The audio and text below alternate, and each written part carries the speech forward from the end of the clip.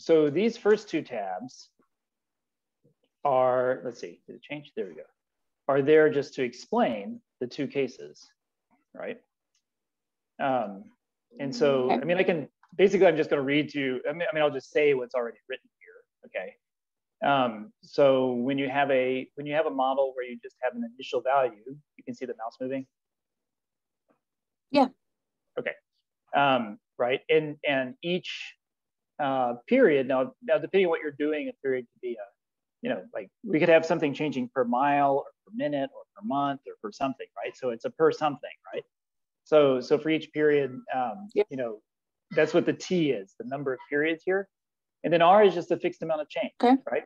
So if I'm walking up a road and I go up, you know, and my elevation increases, you know, one foot per 1000 mm-hmm. yards, for example, right? Uh, and I walk 3,000 mm-hmm. yards, right? Then I will have gone up three feet, right?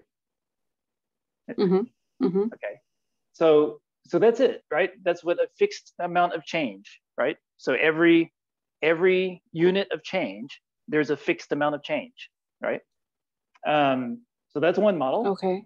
Okay. So a fixed, and we sometimes we call it absolute change, fixed change, right? So you know, like if if it was if it was money, like your money problems, right? This is like simple interest. Every year you gain a fixed amount of interest, whatever, $20 or something, right? Yep. Okay. Okay, that's different than constant percent change, right? And, and, oh, and by the way, what are these tables showing? Just it just here, I'm just wanting you to look through this and figure out this on your own, right? So you know, you have an initial value here. Um, in this case, the initial value is is 1,098. All right. Well, what is Q1 going to be? Um, you know, it's going to be, and, and then here's just all these various ways of doing it. But basically, it's just the initial value plus, you know, the fixed change, right? So the change is uh, 34 uh, right? So uh-huh. we're just we're just adding that amount each time. So we just add that amount. I guess I guess here these are all set to be uh, zero decimals. So if I added a few decimals, you'd, you'd maybe see the you could see the decimal part changing there, right? Okay. okay. And then and then what is it going to be in the second period, right? So it's going to be Q2 is just going to be Q1 plus my fixed amount of change, right? Okay. Okay, but Q naught was just, I mean, Q1 was just Q naught plus that change, and I've just added that change twice, right? So you've got Q naught plus two of those, right? So this okay. is just indicating how the model comes up naturally, right? I just keep adding the same amount each time, right? So the, the number here is just 34.82 bigger than that number there, right? The number here is just 34.82 bigger than that number there, right? Yes. So each, each time I come down, I'm just adding that fixed amount, right? um, right? But as a formula, you end up with this formula down here, right? So the so if I do this n times, then the final amount I get is Q naught plus n times 34.82, right? Mm-hmm. Mm-hmm. Okay, there's actually a little bit more on the sheet, right? So we could look at the percentage change, right? So the pers- how do we compute percentage change? So this is like topic two DQ1, right? Right. Um, so the percentage change, I just say this divided by this minus one, right? That's the formula I like to use. Yeah. All right, so the new value divided by the, sorry, the, yeah, the new value divided by the old value minus one, right? So in, so in this first um, round, there was 3.17% change, right? Um, in the second round, there's 3.07% change. And then it keeps going down. It keeps going down because this is a, you know, each, each time we're doing a fixed amount of change, right? Mm-hmm. But, you know, 34.82 is a smaller percent of 11.67 that, I'm sorry, is a bigger percent of say uh, 1167 than 34.82 is of 1,411, right? Right. So in other words, so here 34.82 just represents 2.53%, whereas up here, for example, it represented 3.17%, right? Mm-hmm. That makes sense because this number is getting bigger. So this is a smaller percentage of that number, right? Correct.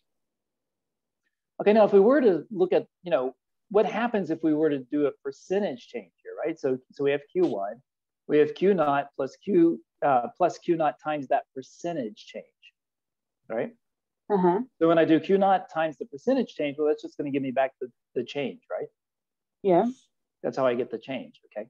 So, you know, I could look at these formulas and that would be Q naught times one plus 3.17, okay? I could try the same sort of thing again. And then, so Q2 is going to be Q1 plus Q1 times its percentage change. Now that changed, now it's 3.07, right? So I get that, right? And so now this is Q1 times one plus 3.07, right? So I can get that formula. You know, and I could get the formula Q naught times one plus 3.17 times one plus 3.07, right? Yeah. Right, and, and we keep going, but it's not turning into any nice one, right? I mean, the, the best thing I could do in terms of the general formula like this would be, you know, Qn equals Q naught times you know, 1 plus 3.17 times 1 plus 3.07 times 1 plus 2.98 times 1 plus 2.90, right? So you, you, you're not just getting a nice kind of closed formula like this, right? Mm-hmm.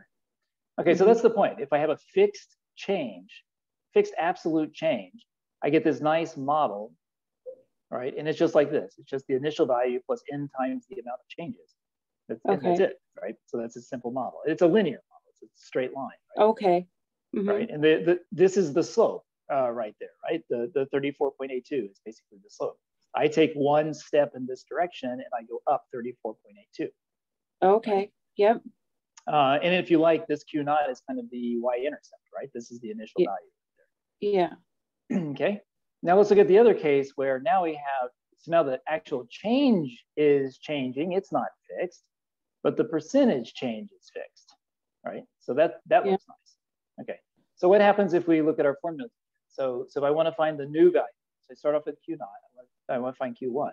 So it'll be Q naught plus this change, right? And then Q2 will be, mm-hmm. well, Q1 plus that amount of change, right? And I could say, fine, it's Q naught plus this amount of change plus that amount of change, right? And then you keep going down like that. So I could say Qn is equal to Q yeah. naught plus this plus you know, plus that, plus that, plus that, plus that. It was not a nice closed form. I still have to use all these values, right? But if I look at the percentage change, right? So now that's where this is nice. I have a fixed percentage change, right? So Q1 is Q naught mm-hmm. plus Q naught times that percent. So that's that's the percent change right there, right? Or sorry, the uh, 0.35% is a percentage change. The actual change is Q naught times that, right? Okay. Okay. And then, yep. and then I can I can factor out the Q naught, get this formula, Q naught times one plus 0.035. And we do Q2 and we do the same thing, just Q1 plus that increase in Q1. I can factor out the Q1, well, that's Q1 times one plus 0.035%. And well, now that's Q1 times this thing times that thing again, right? So that's the same as Q yeah. naught times this thing squared, right? Okay. And, and yeah. that's the point. You're sort of looking at this pattern and saying, okay, do I see the formula Right. and so if I have a fixed percentage change, right, then my nth iteration of this, after I, after I do this thing in steps, I'll have the initial value times one plus my percentage change raised to the nth power, right? Okay. So this is an exponential model, right? Yeah. So, so that's it, right? So there's the exponential model, right? There's the linear model, right? Or if you like, mm-hmm. I mean, it's, it's also up here, a little cell up here that says what that is, right? The linear model is this, right? the exponential model is that, right? Okay, and you go to your puzzles and you put in your name somewhere, I guess here, or some or a word or something. Okay, so I'll just put in part of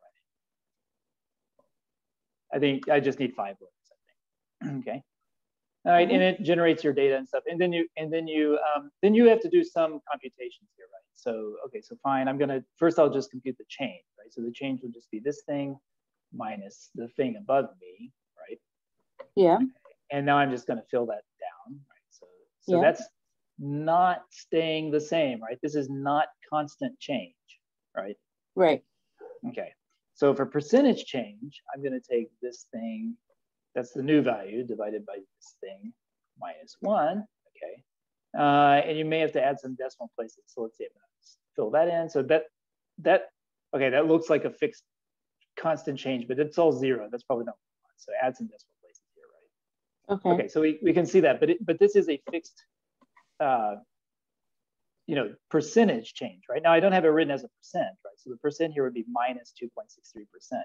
So if you want to format it as a percent, click this and add a couple of decimal places, right? So, um, right, so here in this, so what's going on in this sheet is I have a fixed percentage change. That's what I have going on here, right? Uh-huh. And so that's what you write here, right? So this is in percentage change and relative change mean the same thing, right? So here, okay. here you say it's this is a fixed relative change. Voila, right? Um, mm-hmm. what is what is the fixed value? Well, the fixed value is that. And don't don't type it in, but actually use a cell reference because there's more right. decimal over here, right? Okay, so there's my fixed value.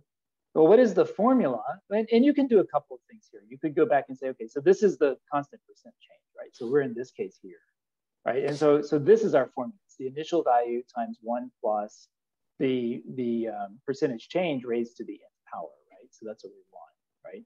So, so here you could just say that the, the formula is going to be, um, you know, the initial value, is one, six, one, two. Now here I am just, notice that this cell's in blue. So it's really is just asking you to type in stuff by mm -hmm. hand, right? You mm -hmm. don't have to, you don't have to use cell references. You could, but I'm not really asking you to, all right? And then you can, then you can write here, um, now I could write here plus a minus uh, 2.63%, right? Yeah. Okay. And then this is going to be raised to the, um, you know, t power. So this would be sort of the general formula with t up there, right? Okay. Um, right. And and you notice that this plus a minus 6.23%. I could just write that as, um, say, get rid of the decimal. I could just write that as minus, right, like that. So so that's fine too, right? That's the same formula. Okay. Right. So that's all I want here is the sort of the math formula for this thing. Mm-hmm. Right? Mm-hmm. Okay, and then and now here's here's just some reading to read up here. So yeah, we, we deposit some things in the bank. Um, by the way, ROLADs are just dollars in reverse, right? Okay. Um, right, and there's uh, we got these first 12 periods and a period is what quarters, right? So we're doing mm-hmm. that four times a year. Mm-hmm. Um, and we want to know if we have a fixed Oh, so actually these are these are going in. Yeah, this is the first 12 periods. This is this is the periodic change. This is not the APR, right? This is this is period one, period two, period three, right?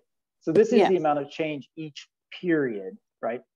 Okay, so we got to be a little bit careful about that. Then we're going to go, we're going to look at nine years, right? So how many periods are there in a year? It's four, right? That's what I all I needed, right? Because we have quarter, right? Okay.